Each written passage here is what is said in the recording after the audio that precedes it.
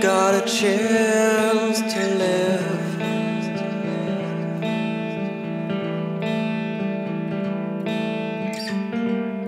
Enjoy the time.